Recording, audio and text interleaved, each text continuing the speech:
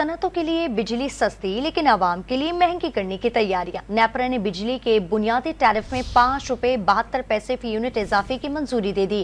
फैसला मंजूरी के लिए विफाकी हुकूमत को भिजवा दिया गया। बिजली के बुनियादी टैरिफ में इजाफे की मंजूरी माली साल दो हज़ार चौबीस पच्चीस के लिए दी गई है। नेपरा ने आइंदा माली साल के लिए बिजली के फ़ी यूनिट औसत बुनियादी टैरिफ का तयन पैंतीस रुपए पचास पैसे किया है।